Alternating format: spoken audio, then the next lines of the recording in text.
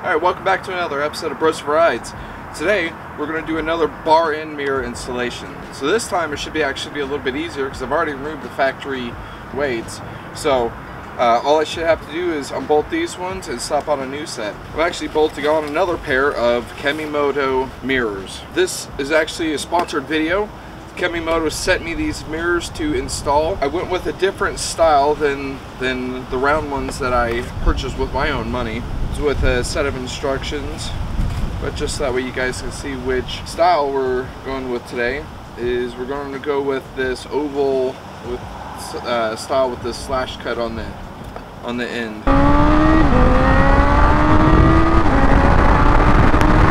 I went with this style because well it was different than the ones that I already installed on those and I did want to check out the blue tinted mirror just to see what the difference was. I'm pretty happy with the, the regular no tint on the mirrors but I'm curious to see if that actually helps cut down on, on glare. Let's go ahead and get it started with me showing you the contents. You already seen the mirror. There's two of them of course. Comes with the bar end weights and the expander that you'll need. What I also really like is that it comes with an Allen key, so it should be the same size. Yep, it feels like it is. It is exactly the same size as the other set of Kemimoto mirrors that I already purchased. And it, and it also comes with the actual bar ends themselves and looks like some sleeve inserts to help uh, make it a little bit tighter if you need it to be. Now let's go ahead and get started with this installation. And use the provided Allen key. So we'll go ahead and loosening.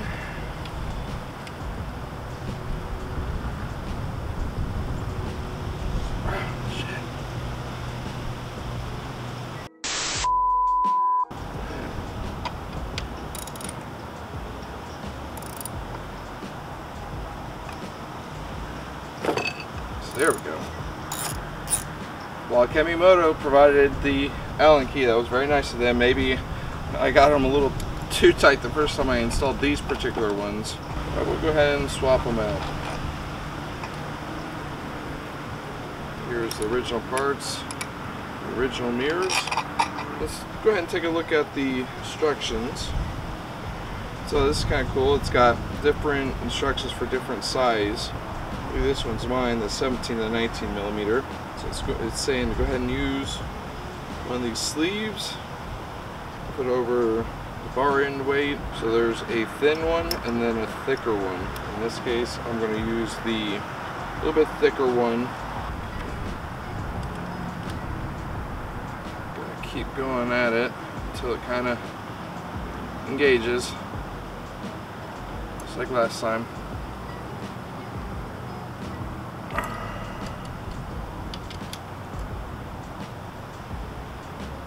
Okay, go with that.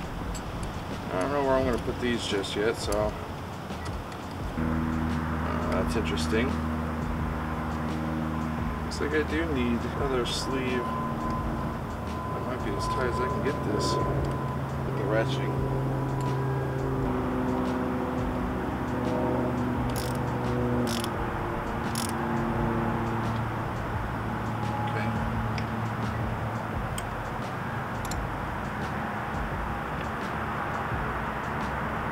That's okay. I think it would have been fine if I kept tightening down on the nut that went right there.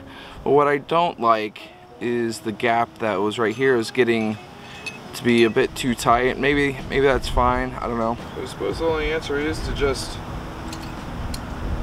make that work. I mean, it looks great right here. No gap, but uh, when you when you get to tightening it down, tightening a little, a lot.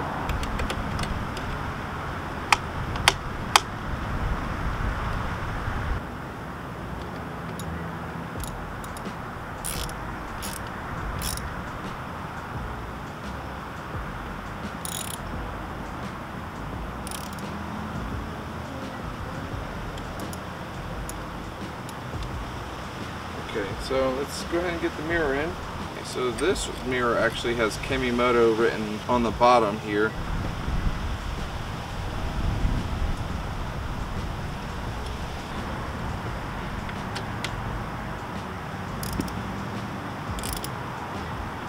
Get that a little bit tighter. That one's got a good amount of range of motion to it as well. I like that. I didn't think I'd like the underbar one. I like that. So I figured I'd try it up.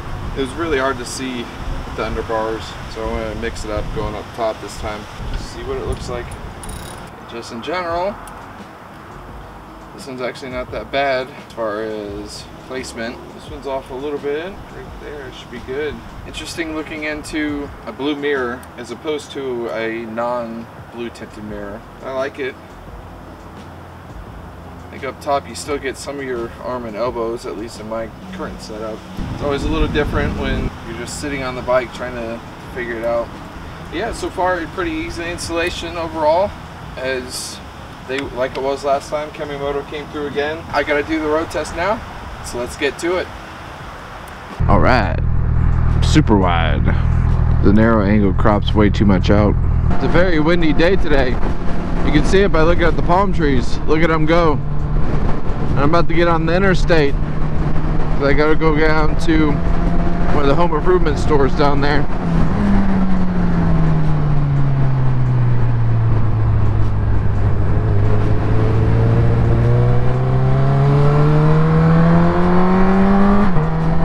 Alright, so at 80 miles per hour I can see very clearly out of the mirrors.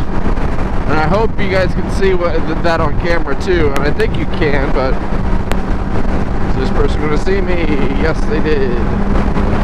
But yeah, I can see very clearly out of those mirrors. Very little vibration. I mean, there is vibration, don't get wrong. I'm going 85 right now, but yeah, it looks really nice. Way better than when they were on the bottom. When they were on the bottom, I couldn't even see out of, out of the round ones. So I don't know if that has anything to do with the style or how they're mounted but I do think I want to make a test and put the, the round ones back on put on top and see how they perform in that position. Going into this, I was not a fan of this style of mirror. I mean, it's not bad, don't get me wrong, it just wasn't necessarily something I thought I was going to like overall long term. But I tell you, after having them on, I, I kind of do like them. I, I kind of do, tell you the truth. They've, they've really kind of grown on me. And it fits uh, the style a little bit of the bike. Kind of like it.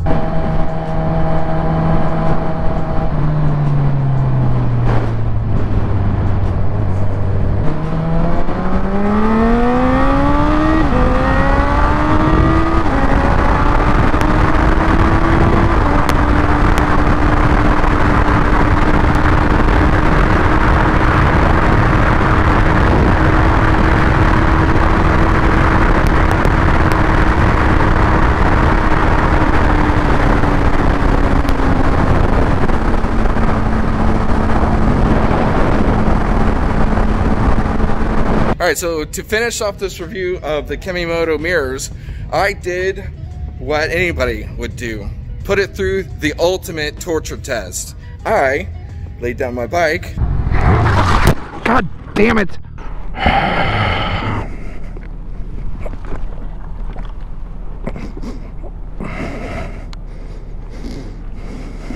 Fuck. To see how well they would hold up. And to be honest, they held up pretty good.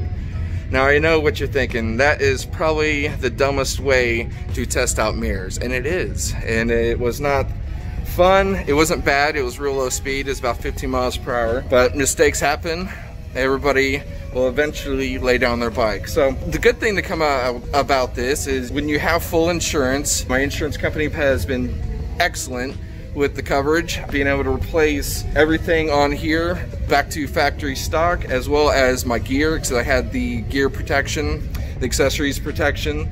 So everything has been fully covered, and, and I still have the $250 deductible, but that's that's not bad considering everything that's being done. A, a slow speed 15 mile per hour crash will do $3,800 worth of damage. So with everything said, I talked to the service manager here at Champions Honda and we're gonna do some custom stuff to replace the side badges. The only way you can get new side badges is if you order a, an entire tank. and an entire tank is a little over $1,100. That's insane. We're gonna do a little custom work. I will show you guys and fill you in on that in a upcoming video. And then as well as this little scratch on the single sided swing arm to replace that it's about a thousand dollars or so so instead of doing that it's just light cosmetic work. I'm gonna have that painted and I'll tell you more about that as well. So it's gonna look really cool. We're gonna do some cool things to this and customize the bike a little bit more. All right, if you guys like that video, please like and subscribe, hit the notification bell, and I'll get you guys updated on another episode of Brosef Rides. See you later.